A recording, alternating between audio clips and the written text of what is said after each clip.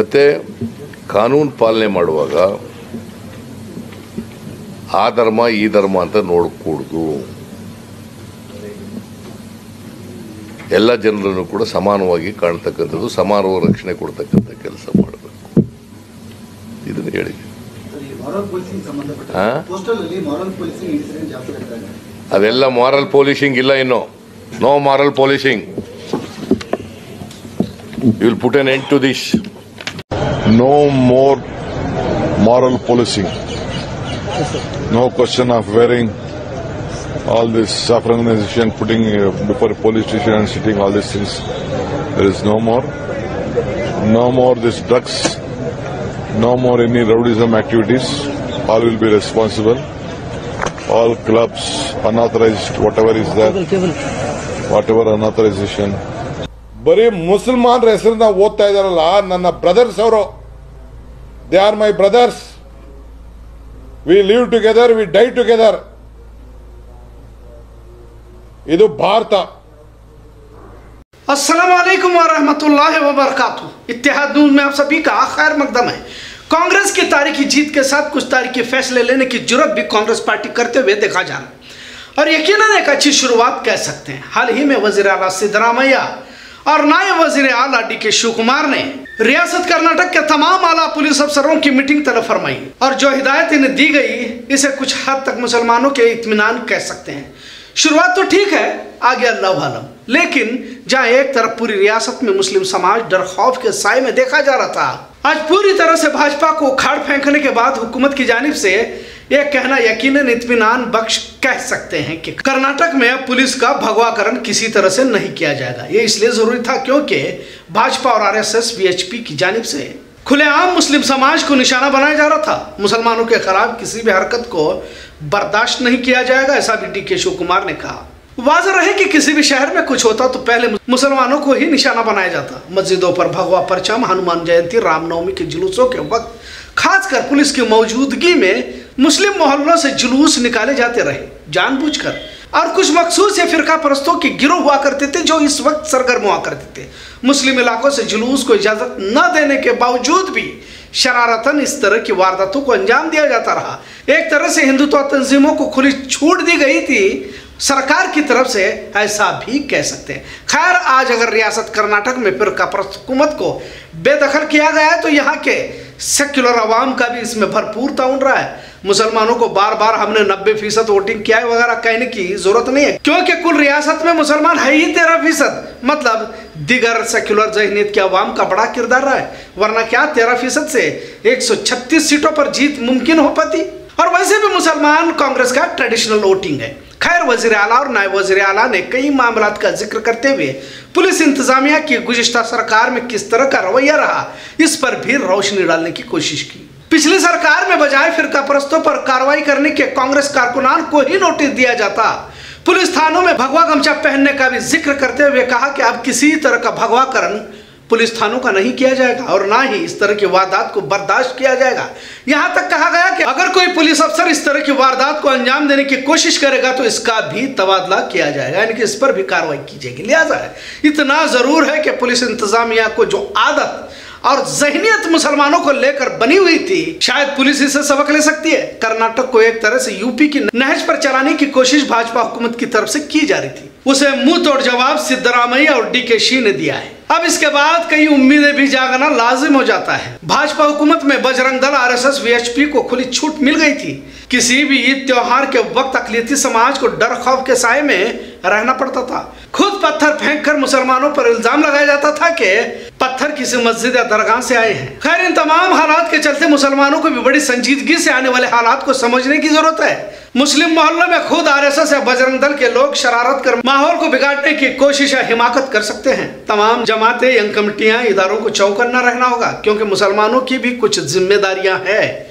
मौलवी इमाम, महदूद दायरों में बयानात और खुशफहमी का इजहार करने से मिलत के तमाम अपराधों को बेदार करने की कोशिश करे।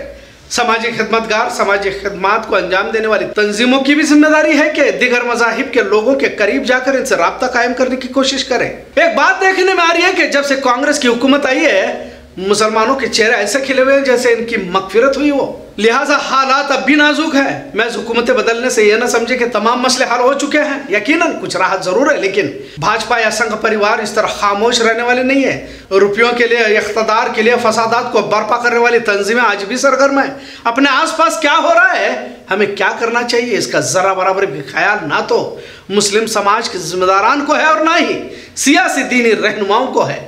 सिद्धरामैया या डी के शिव कुमार ने जो भी पुलिस वालों को कहा है, अच्छी बात है, लेकिन हमेशा की तरह गफलत में रहना मुसलमानों के लिए नुकसानदेह हो सकता है। पुलिस जहनी दबाव में तो हो सकते हैं, लेकिन मुकम्मल जहनीत बदल जाए, ये भी उतना ही मुश्किल है।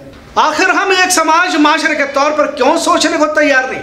वैसे हमारा मुहाफिज तो अल्लाह है, पर हम उसकी तरफ़ तो कहाँ पलट रहे हैं? आज भी बैसाखियों के सहारे जीने की आदत पड़ी हुई है, जहाँ जो जिस तरह से हाँकता है उस तरह भेड़ बकरियों की तरह निकलने की फितरत हमारे अंदर आ चुकी है। एक अच्छा मौका कह सकते हैं, और एक अच्छा मौका है भी। तमाम कागजात, दस्तावेज़, मस्जिदों का रजिस्ट्रेशन जो भी मुमकिन हो सके, मुकम्मल करने की कोशिश करें। आने वाले दिगर रियासतों में भी भाजपा हार सकती है, और भाजपा या संघीय विचारधारा के लोग सिर्फ़ नफरत के ज़रिए ही अपनी सियासत चमका सकते हैं। वक्त राहत को सब कुछ ना समझे, अब किसी न किसी बहाने फिरका परत शरारत कर सकते हैं फिर। हिंदू मुस्लिम माहौल बनाया जा सकता है। मुसलमानों से भी ज़्यादा दिगर सेक्युलर जमातों की ज़िम्मेदारी है कि किसी तरह इस मुल्क संविधान भाईचारे को बचाना होगा। इन पाँच सालों में समझने की कोशिश करे।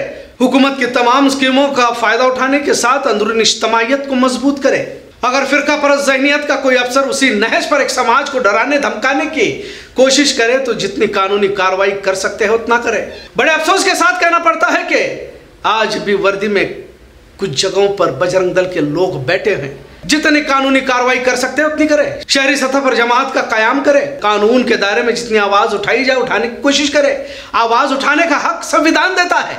इसका एहसास भी पुलिस अफसरों को दिलाना ज़रूरी है। बेलगाम नॉर्थ के कुछ पुलिस थानों में भाजपा हुकूमत में ही सीपीआई खुद को आरएसएस का कहते हुए देखा गया है। चीफ मिनिस्टर के सेक्रेटरी का रिश्तेदार होने की बात कहकर कुर्बानी के जानवरों को जबरन ले जाने की भी बात कई बार सामने आ चुकी है। लिहाजा सरकार बदल चुकी है। कोई भी किसी भी धर्म जात पात की भाषा का इस्तेमाल करने लगे तो उस अफसर को ही कानूनी दायरे में रहते हुए कार्रवाई की कोशिश करे। यकीनन डर खौफ और सियासी लीडरों के दबाव में इंतजामिया को फैसले लेते हुए देखा गया है। बेगुनाहों के मुकदमे भी वापस लेने का मुतालबा किया जाए। जब भाजपा, बजरंग दल, आरएसएस के कारकुनान के मुकदमे वापस ले सकती है तो बेगुनाहों का तो हक है। लिहाजा वज़ीर आला और नायब वज़ीर आला ने पुलिस अफसरों की क्लास लेकर आवाम को राहत की सांस लेने का इशारा ज़रूर दिया है। कुछ भक्त हमेशा की तरह सोशल मीडिया पर सरगर्म होकर नफरती पोस्ट करते हैं। इन पर भी सख्त कार्रवाई का इशारा वज़ीर आला सिद्धरामैया ने भी दिया है। और यह आवाम की भी ज़िम्मेदारी है। जो भी फेसबुक या व्हाट्सएप पर नफरती पोस्ट कर रहा है इसे निशान दे करके इस पर कार्रवाई का मुतालबा करें। हो सकता है नफरती चिंटू फिर से बिल में छिप जाए। बयान अच्छे हैं। ज़रूरत है इस पर अमल होने की, क्योंकि हमने कांग्रेस हुकूमत में भी मुसलमानों पर जुल्म होते हुए देखा है। और शायद इसलिए सियासी लीडरों की जबानी पर भरोसा करना मुश्किल हो जाता है, ये भी उतना ज़रूरी है। आज का मौजू कैसा लगा, इस पर ज़रूर कमेंट करें। मुकामी खबरों पर एक नज़र। आज जमखंडी डेपो जा रही केएसआरटीसी की बस पलटी, जिसमें सात सवार शदीद जख्मी हुए। यह वारदात बेलगाम ज़िले के रामदुर्ग तालुका मुल्लूर घाट के पास पेश आई। बस में कुल तीस मुसाफिर सवार थे। जख्मियों को रामदुर्ग तालुका अस्पताल में जेर इलाज रखा गया। बस अचानक बेकाबू हुई और घाट में जाकर पलट गई। शुक्र खुदा का किसी भी सवार का जानी नुकसान नहीं हुआ। मुकामी लोगों ने मुसाफिरों की जान बचाई। मामला रामदुर्ग थाने में दर्ज है। बस धारवाड़ से जमखंडी जा रही थी। कांग्रेस हुकूमत पूरी तरह से कायम भी नहीं है। यानी कि अभी भी तमाम वजरात बहाल भी नहीं हुए, लेकिन लोगों ने खुद ही कांग्रेस गारंटी पर अमल करना शुरू किया हुआ है। कई जगह पर तो कांग्रेस गारंटी की दलील देते हुए बिचारे हेस्कॉम के मुलाजमीन की धुलाई भी की जा रही है। कांग्रेस हुकूमत ने बिजली का बिल माफ़ किया है, कहते हुए बहस देखने को मिल रही है। कई जगह पर हाथापाई की भी खबरें हासिल हो रही है। बिजली का बिल ना भरने पर कनेक्शन काटने की बात करने वालों को मार भी खाना पड़ रहा है। कांग्रेस गारंटी, सरकारी मुलाजमीन को मुसीबत बनती जा रही है, ऐसी चर्चा आवाम में देखी जा रही है। एक और बेकाबू ट्रक ब्रेक फेल होने से शनिवार को टजरेकर बेकरी के सामने सवारियों से जाकर टकराया। आखिर बड़ी ट्रक को कैसे दाखला दिया गया और ट्रक बेकाबू कैसे हुई, इसका तस्करा लोगों में करते हुए पाया गया। कल 25 मई को हज ट्रेनिंग कैंप का एहतमाम नेपाली में रखा गया है। सुबह 10 बजे से पाँच बजे तक। 2023 के हजाज इकराम को तरबियत दी जा रही है। हाफिज बशीर गवास के जेर निगरानी तरबियती कैंप का अहतमाम किया गया खबरों का सिलसिला यूँ ही चलता रहेगा। देखते रहे इतिहाद न्यूज़। शुक्रिया, अल्लाह हाफिज़।